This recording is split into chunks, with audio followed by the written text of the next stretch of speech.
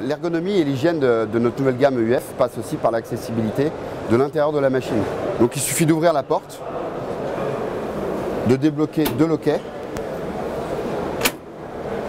de tirer sur celle-ci et de la rabattre tout simplement.